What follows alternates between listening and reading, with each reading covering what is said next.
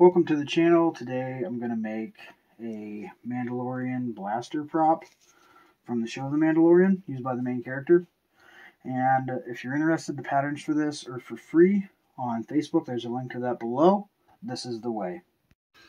Okay, first thing we're going to need to do is cut out a blaster center and the blaster body outer. And the only difference is the center has a trigger and the outer doesn't. That's why those two patterns are kind of mashed into one. I also took my Dremel rotary tool with a medium grit sanding head and just kind of rounded out the outside here on the outside pieces. So it'll give it a bit more of a finished look. And I'm going to layer these three like that and glue them together. But I'm actually not going to use contact cement for once. I'm going to use some Gorilla Super Glue because it will provide a less flexible and more stiff bond. And it's also faster.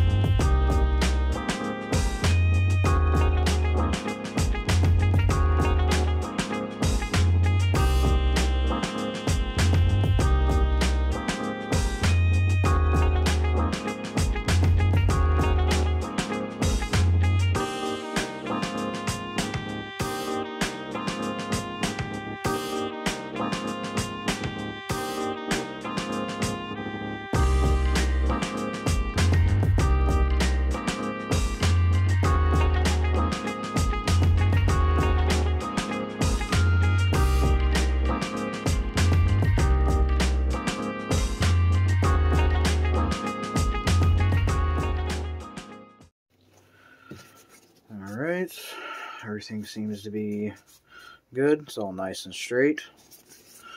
Next, I'm going to take my Dremel rotary tool and just kind of even everything out and smooth everything on it.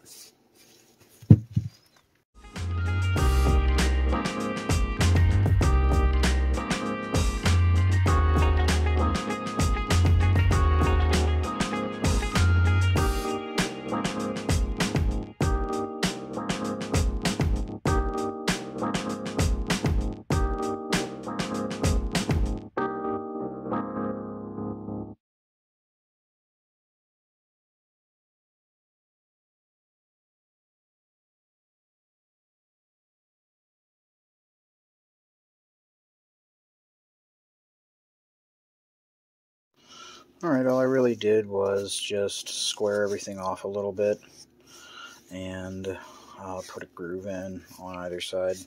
One over here goes all the way through. This one's just like partially. Alright, for the barrel, I have some half inch uh, CPVC pipe, not half inch PVC. Half inch PVC is actually, for whatever reason, lar uh, reason larger than the CPVC, but this is going to be the barrel and I cut it about two inches longer than the end of this so that I have something to glue the two bands and I don't know what the actual front of the blaster is called. Maybe a barrel shroud I don't know I know it's not a suppressor because it's a blaster but yeah.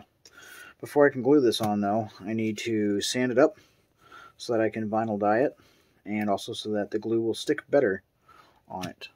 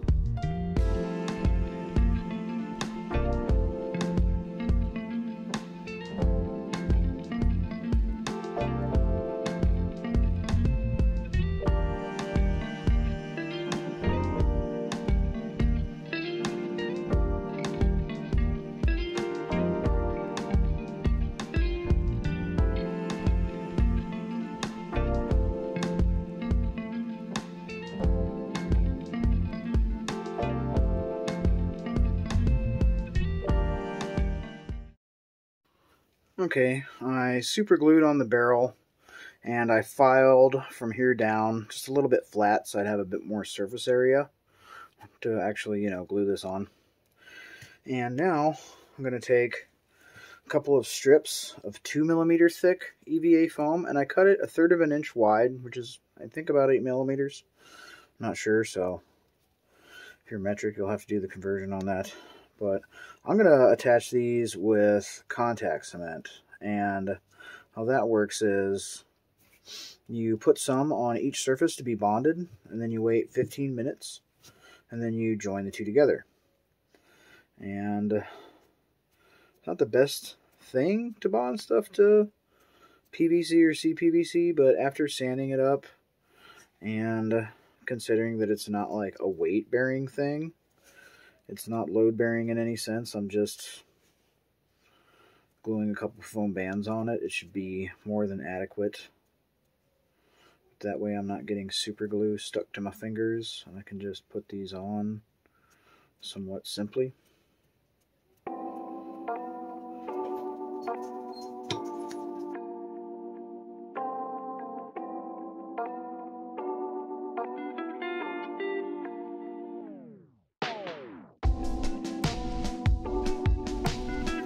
Next, you're going to need this piece here, which is the uh, flared barrel cover.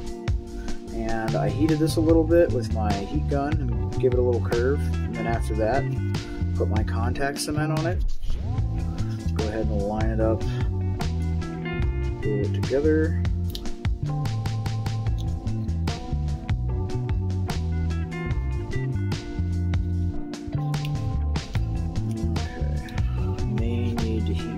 This a bit more, but, and I did cut this end here at an angle so that it would slide a bit more easily onto there and then match up with this.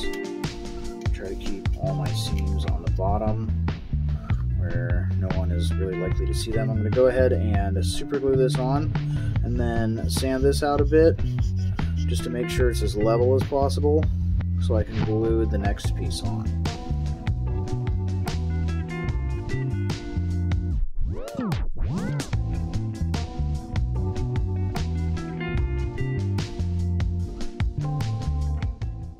Next I have the barrel end cap which just looks like a rectangle. And same thing contact cement. Allow it to sit for 15 minutes. Just glue it together.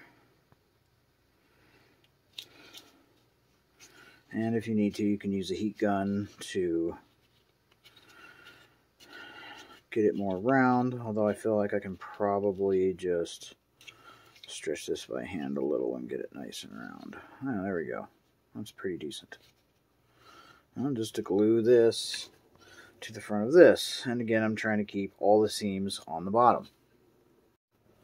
Okay, I contact cemented the barrel tip on here. Next, I'm going to take some scrap foam and make some impressions of this and just cut out some circles of foam just to fill this up and make it solid uh, I suppose it's not necessary but if something were to lay on it it would get crushed or when I'm going to get checked at a convention and they grab it uh, and squeeze it to make sure it's not metal. I don't want them to smash it into oblivion. If, they, if it's solid, at least they can feel, oh, it's not anything I have to worry about but not totally smash it to death.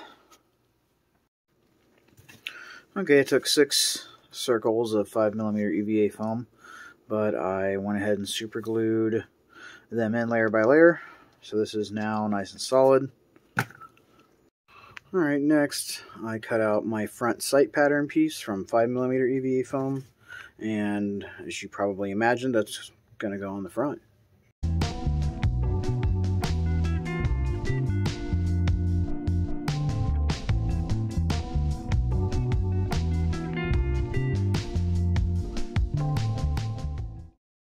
All right, next thing I'm going to put on is going to be the right side L pattern piece. And I used contact cement for that. And it's going to line up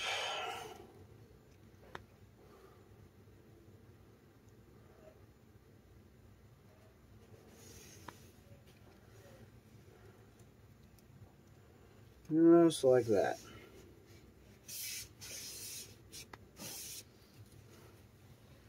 Next, I'm going to take my X-Acto knife and put some straight, uh, straight cuts, about a millimeter and a half or so apart, uh, down to about here.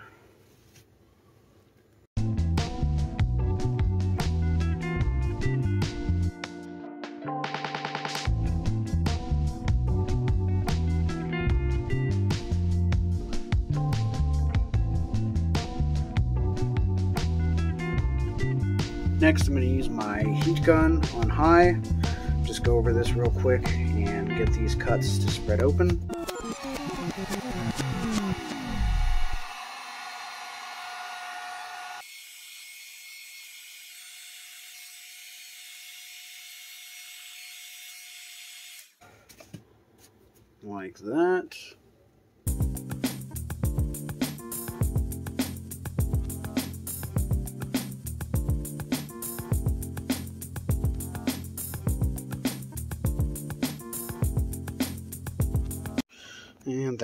My Dremel to round and angle this part off here underneath the right L piece that I just attached and heated. Next, I'm going to glue in the right D pattern piece. That's going to fit in there just like that. Actually, a little bit up.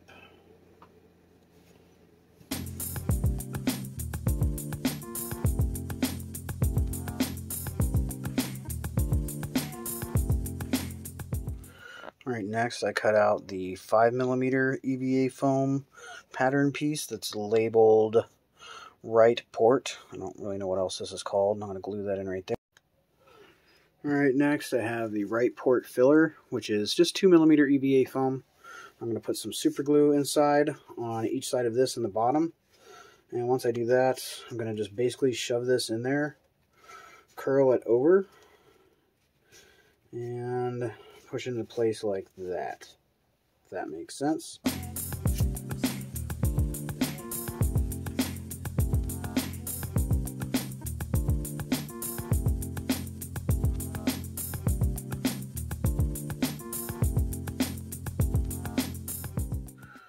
Okay, I have this Playside Creations EVA foam shapes. I basically just took the smallest circle, and they're 2mm EVA foam, and I heated it so that it domed up. Now I'm going to super glue it right there.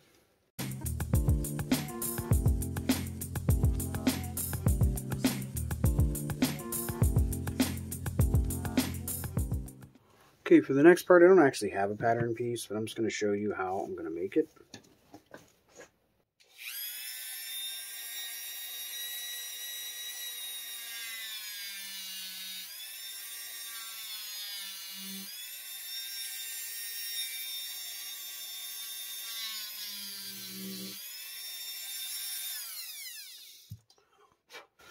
Okay, so I just ground a notch into the foam.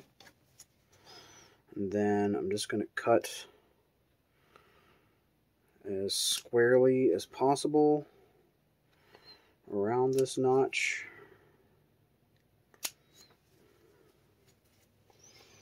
How this looks. I need to trim this up a little bit.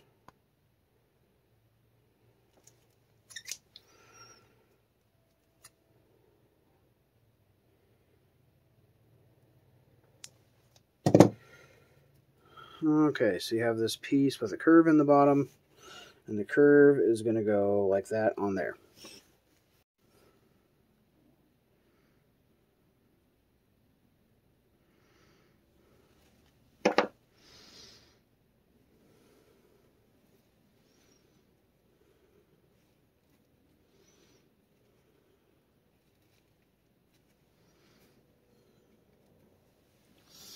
Next, we're going to make the rear sight, and for that, you're going to need two sight outside pieces that are cut out of 5 millimeter, one sight inside piece, which is also cut out of 5 millimeter, and then two 2 millimeter pieces, or two 2 millimeter pieces from the outside sight cover.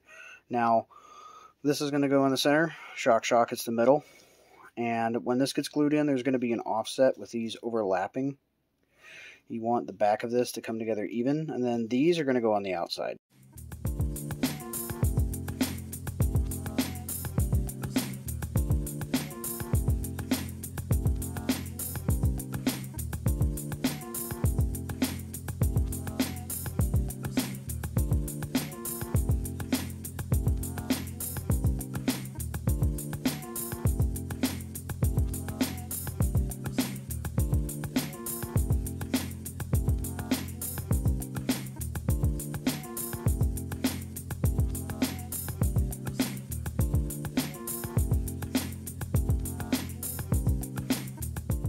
Okay, the next piece I'm going to put on is the top rail, and it just looks like a rectangle.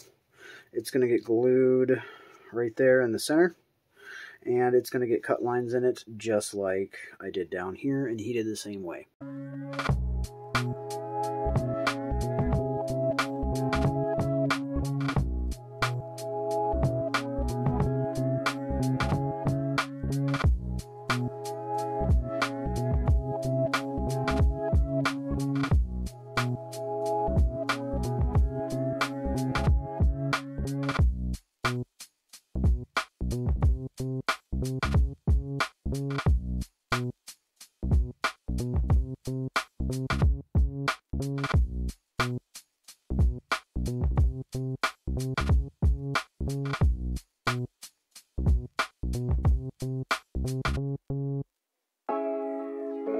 Okay, now that the main rear sight and all that is done, we're going to do the sight extension, and I also cut a small circle. I basically took one of these and cut it down, heated it a little bit, and glued it on to be like a faux adjustment.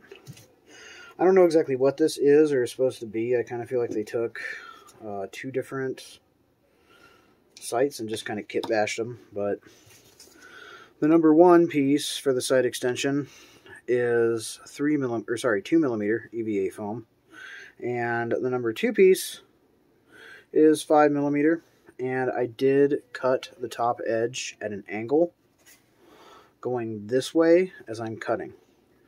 That way it has a sloped effect. And I'm going to glue that together.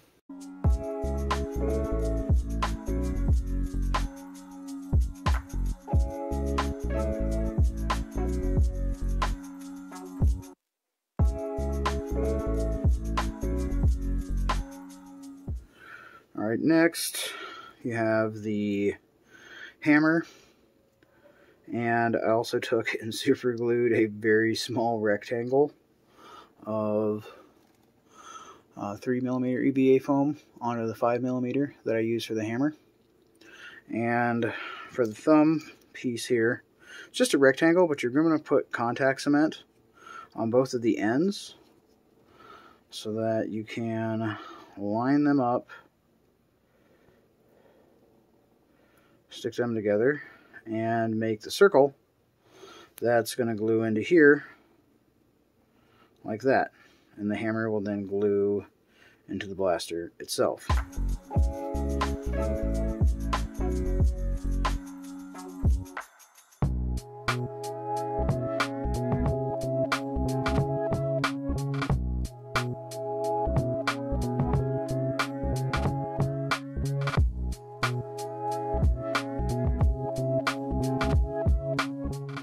Now we have the left D pattern, which is actually just the exact same as the right D pattern. You just flip it over. And that's going to sit about a quarter inch or so in, eh, more like a third of an inch. And then you're going to put in your left uh, port, which is similar to the right, but you'll notice uh, one end is pretty much just as thin as it is on top. On the end, little end, other end, it's a little thicker. You're going to want to put the little thicker end towards the front, and it should be about a quarter inch away from this.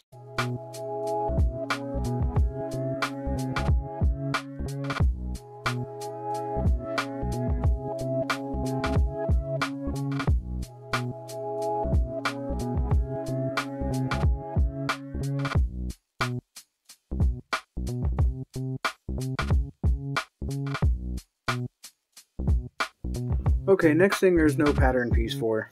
You just take some 2 millimeter EVA foam and cut it about 2.5 millimeters wide. And then that is going to be cut to the length to go straight down the center like that. Then take two more pieces of it, cut a half inch wide, and those will go on top.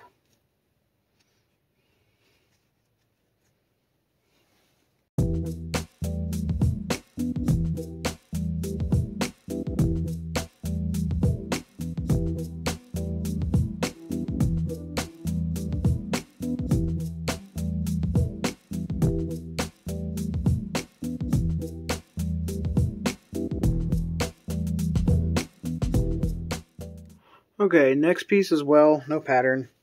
I just took some 2 millimeter EVA foam and cut it about 2 millimeters wide. And that is going to start up here, about an eighth of an inch from the front, and run about an uh, sorry about a tenth of an inch from the front, run about an eighth of an inch along the bottom, and it's a stop right where the curve starts. I'm going to go ahead and glue this on.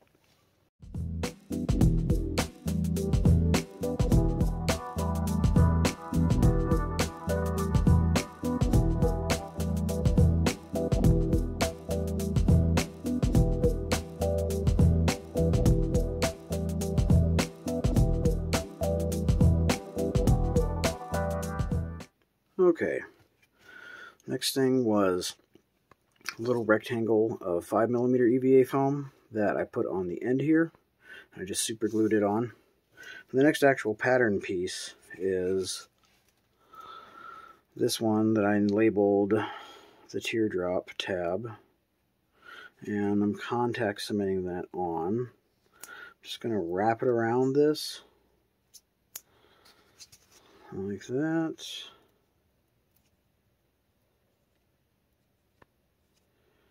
Then press the tab down.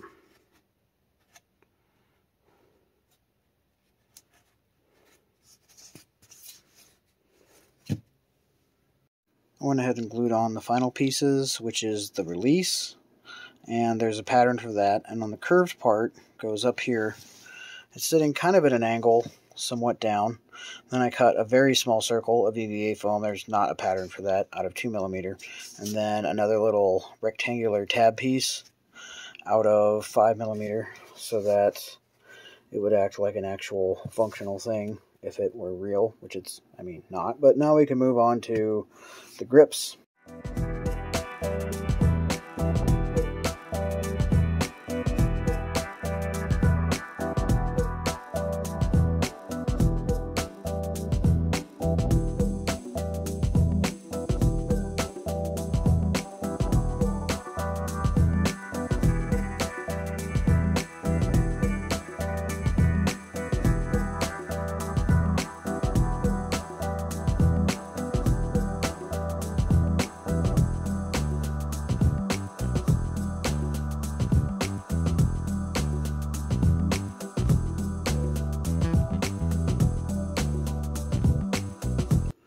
Okay, I finished sanding this so that both sides are angled now, and this has a scallop there all the way back, and this one only goes in right there.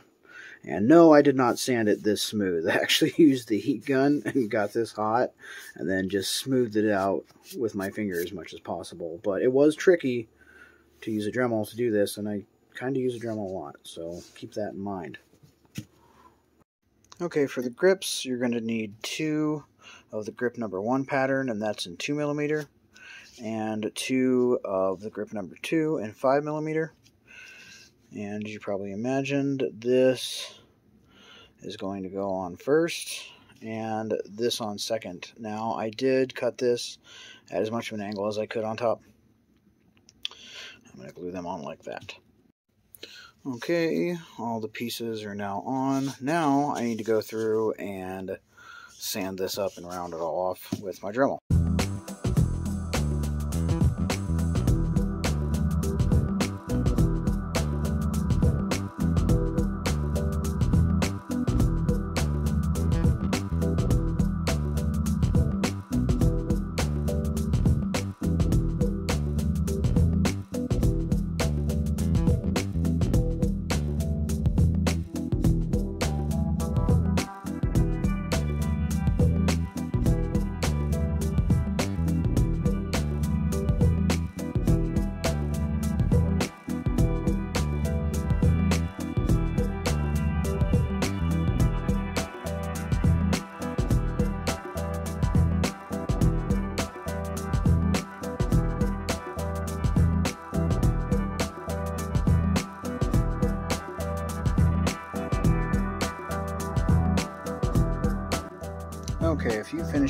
After I rounded out both sides of the grips, angled this into the number one. I took some screws I had laying around and I put some super glue uh, into the hole after I jammed the screw in and then pulled the screw out and super glue and shoved it back in so it's glued in place. I took a ballpoint pen and put some dots based on reference photos that I found by Googling, including up here on the sight as well, over there, and then this circle there, I don't know why, but yeah. And then I took and scored this angled line, get the dog hair off there, scored this angled line into the top of the sight here, uh, the front sight. I don't know why it's there, but it's there.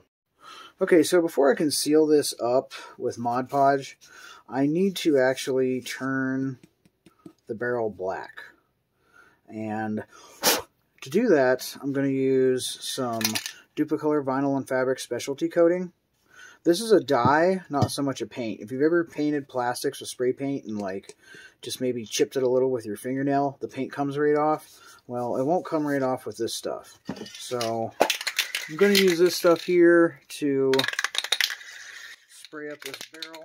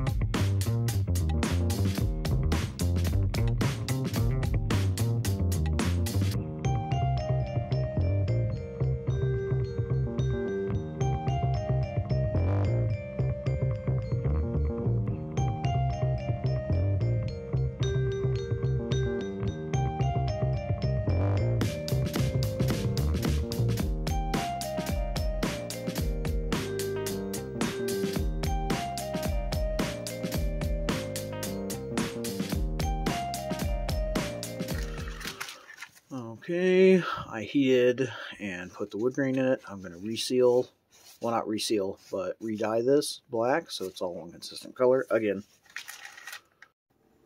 Alright, off camera I applied two coats of Mod Podge uh, gloss until I got rid of that, you know, sort of pocked foam look. And whenever I apply it, I just try to stay in the direction for each piece. For example, I'm going this way on the end and lengthways on this. On the grip, I didn't actually put much.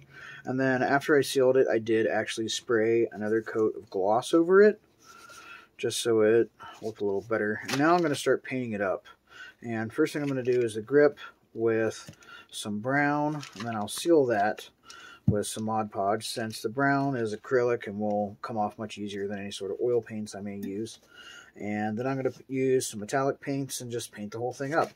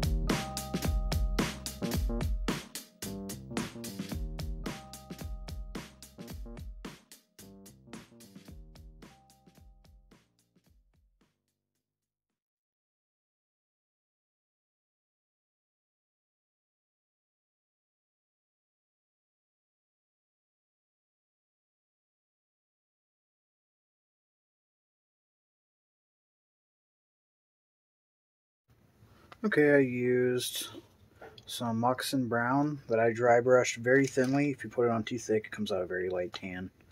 But I dry brushed that very thinly on the grip. Then I covered that in a layer of Mod Podge just to seal that in since it is just acrylic craft paint and will probably wear off with use if I don't. And then for this part of the muzzle and this tab here and this, I used titanium gold. I use Model Masters gold for this actual part here. And I use Model Masters silver chrome on this. And then to give this more of a blued look, I just brushed on a wash that I made from some black acrylic paint and blue and some transparent gray airbrush paint and some other stuff just to give it kind of a blued look. And that's going to be pretty much it for the hand painting. Now I'm going to move on to rub and buff to get some details uh, as far as weathering on like the end here and on the body itself.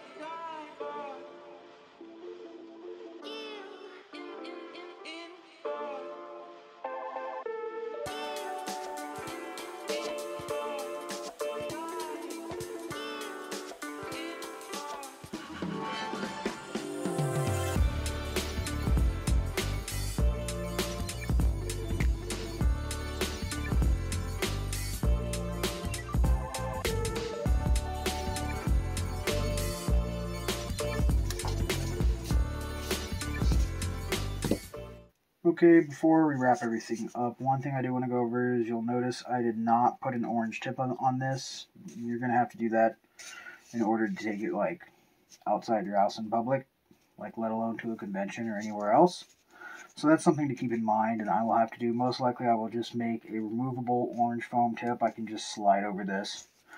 But most of the conventions where I live, the rules are if you have something that looks realistic like this, it can't be painted realistic colors. So I would have to paint this like all neon orange or neon yellow or pink or something to take it to most of the conventions anyway, so I just won't. But I can use it for photos. And if they're photos on private property, I don't have to have the orange tip. If it's somewhere that's indoors or, you know, if it's out in public, I can put the orange tip on it or whatever. But, yeah, that was one one thing I wanted to mention I didn't do that does need to be done with anything that looks real so people know that it's not real if you're going to take it outside of private property. Well, that's pretty much it. Hopefully you all enjoyed it and it gave you some ideas for your own projects. And as always, thank you for watching and have a great day.